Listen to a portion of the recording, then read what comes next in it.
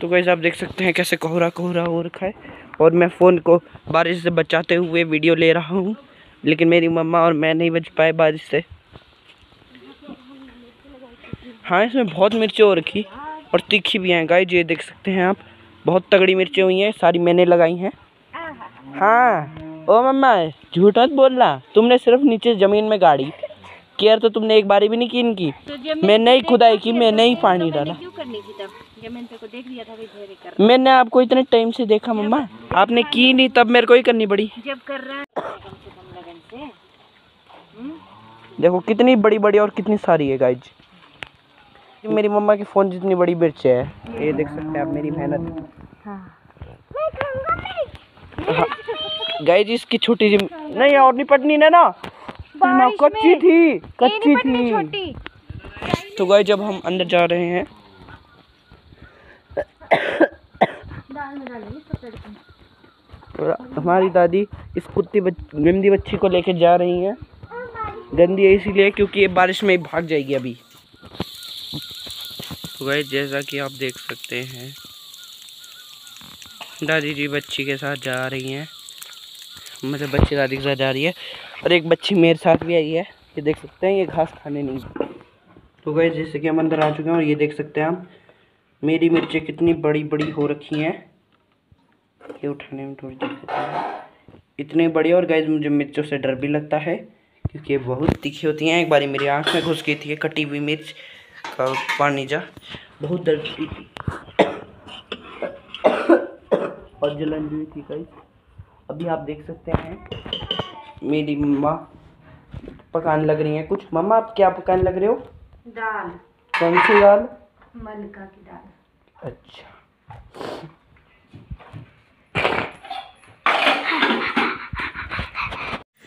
Hello everyone तो अभी हो चुका है शाम का टाइम और दिन में बारिश होती है ना तो मौसम बिल्कुल ऐसा और मच्छर इतने ज़्यादा कि क्या ही बताएँ।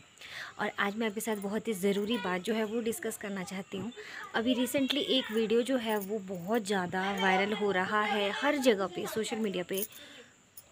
सोशल मीडिया पे, चाहे वो यूट्यूब हो फेसबुक है, हर जगह यही छाया हुआ है। और इसने ना पूरी की पूरी जो है हमारी, जो बोलते हैं ना जीवन की व्यवस्था उसको हिला के रख दिया है, खासकर औरतों की। औरतों की जो है ना पूरा चरित्र जिसको बोलते हैं ना, वो हिला के रख दिया है, सच में। और मैं बात कर रही हूँ S D M Jyoti Maurya और आलोक मौर्य की। तो उन दोनों का आजकल बहुत ही ज़्यादा वीडियो वायरल हो रही है।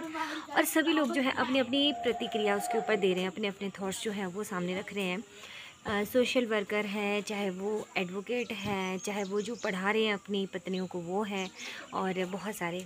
तो मैं भी क्योंकि एक औरत हूँ हाउसवाइफ हूँ और मैं भी इस बारे में कुछ बोलना चाहती हूँ। क्योंकि मैंने सबकी बातें सुनी तो मुझे कहीं ना कहीं कुछ लगा कि बोलना चाहिए इसके ऊपर। ये नहीं है किसी के पर्सनल मैटर में हम इंटरफेयर नहीं करें, लेकिन एक जो वो बन गया है ना कि सभी लोग जो जिनकी पत्नियाँ बाहर पढ़ रही थी, वो सबको बाहर से वापस बुला रहे हैं भाई, और बोल रहे कि कहीं तुम भी ज्योति मौर्य की तरह तो नहीं बन जाओगी। तो ये कहीं ना कहीं बहुत गलत है। ठीक है? क्योंकि एक जैसे नहीं होते हैं सारे और उसमें भी मतलब मैं बीच में कुछ ना कुछ कहना चाहती हूँ इस तरह का, जो कि सच में सोचने लायक बात है कि क्यों ये जो मैटर है इतना ज़्यादा तूल पकड़ रहा है, इतना ज़्यादा इसको क्यों वायरल किया जा रहा है? क्यों ये इतना ज़्यादा जो मतलब ऐसे अनगिनत केस होते होंगे, उनका हमें पता भी नहीं चलता।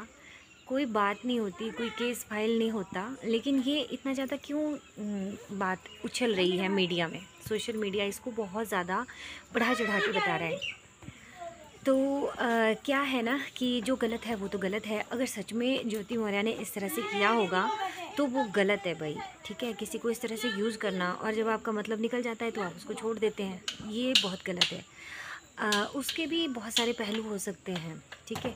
क्योंकि क्या है ना देखो आ, जब कोई लेडी कुछ भी करती है ना इस तरह का तो उसको बड़ा बढ़ा चढ़ा के बोला जाता है सोशल मीडिया पे हर जगह पे क्योंकि कहीं ना कहीं औरत की इस तरह के काम को ना हज़म नहीं कर सकते हैं लोग।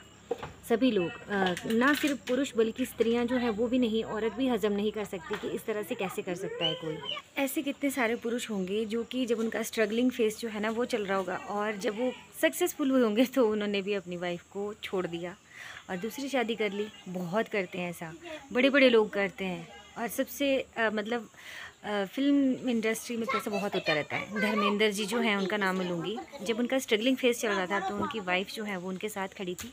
जैसे ही वो सक्सेसफुल हुए, वैसे ही उन्होंने अपनी वाइफ जो है, उनको छोड़ दिया। कुछ ना कुछ मतलब चाहे जो भी रीज़न रहे होंगे, लेकिन ये भी तो है।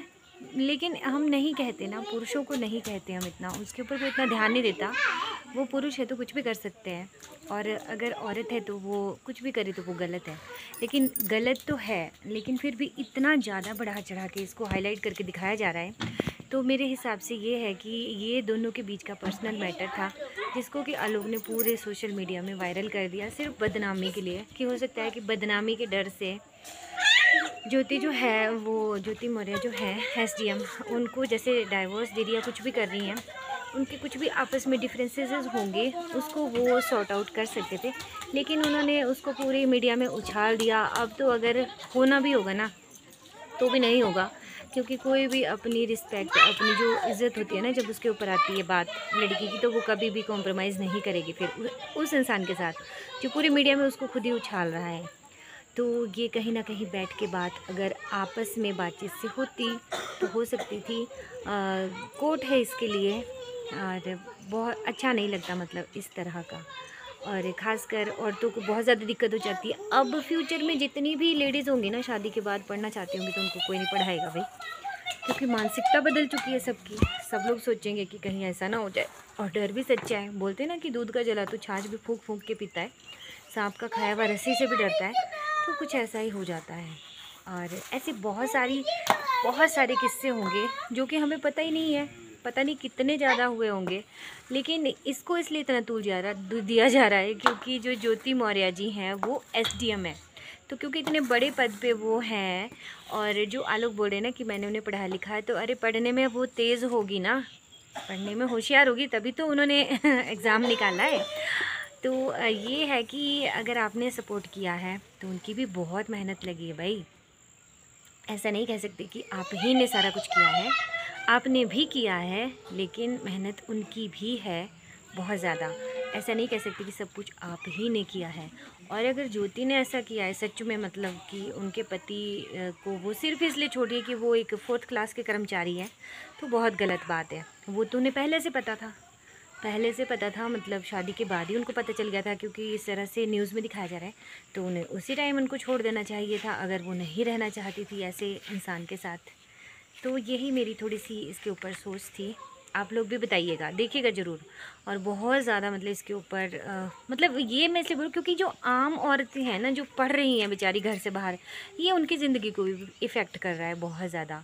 सोच बदल चुकी है ना लोगों की इससे बहुत ज़्यादा। तो चलिए अभी गाय के पास चलते हैं। मैंने यही आपके साथ शेयर करना था। आ, क्योंकि ये बहुत ही ज़्यादा मतलब बात करने लायक टॉपिक मुझे लगा। सबकी ज़िंदगी को इफ़ेक्ट कर रहा है ये जो लोग पढ़ रहे हैं अभी। चलिए मैं चलती हूँ अपना काम करती हूँ। अभी मैंने गाय को लगाया था यहाँ पर धुआँ। क्योंकि मक्खी और मच्छर है इतने कि क्या ही बताएँ और गाय को पानी पिला रही हूँ लेकिन ये पानी पी ही नहीं रही है। पी जा। हम्म इसने मुँह लगाया इसमें ना और छोड़ दिया। तूड़ी भी चलेगी इसमें थोड़ी सी। तेने भी ना लो।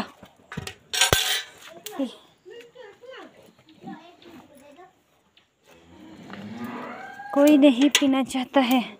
ला। पी।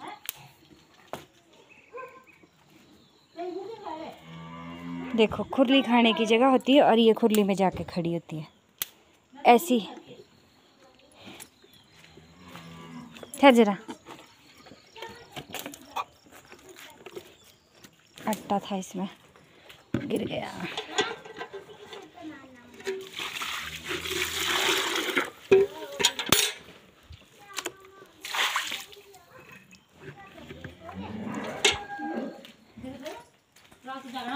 और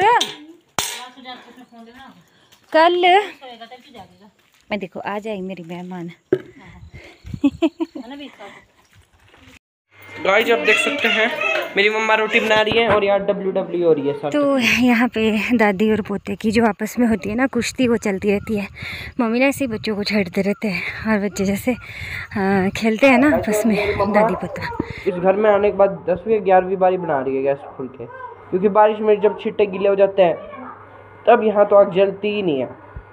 पार तो जल भी जाती थी क्योंकि पार गर्मी होती थी यहाँ तो ठंडी है।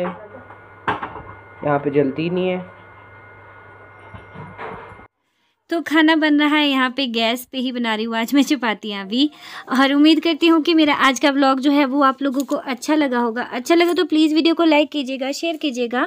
चैनल पे फ़र्स्ट टाइम विज़िट कर रहे हैं तो चैनल को सब्सक्राइब ज़रूर कीजिएगा। आप देख सकते हैं, ये भूत बच्चा। इसका नाम भूत बच्चा है। भूत बच्चे ने मुँह छुपा रखा है। मैं मुँह नहीं दिखाऊँगा, भूत बच्चा बोल रहा ही। मैं भूत हूँ। मैं खा जाता हूँ बच्चों को। देखो भी खा जाऊँगा। ई खा जाऊँगा मैं खा जाऊँगा। इतना बड़ा नाक है इसका। इतना बड़ा तो किसी का नहीं होगा नाक विश्व में सबसे बड़ा नाक इस मास्क को डिज़ाइन करने वाले का था शायद। ठीक है। आ तो मैंने तेरी बीन बजानी है मम्मा ने बोला है। मैं ना आता हूँ तेरी बीन बजाना बोला है मम्मा ने। मैंने दे दी मम्मा ने अच्छी